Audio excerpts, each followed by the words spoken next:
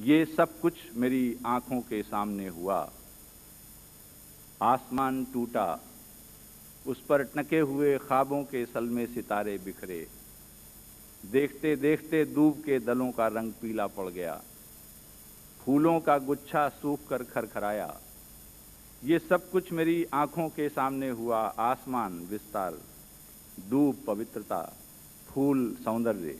ये सब कुछ मेरी आँखों के सामने हुआ। आसमान टूटा, उस पर टके हुए ख्वाबों के सल में सितारे बिखरे। देखते देखते दूब के दलों का रंग पीला पड़ गया। फूलों का गुच्छा सूख कर खरखराया। और ये सब कुछ मैं ही था, ये मैं बहुत देर बाद जान पाया। ये सब कुछ मैं ही था।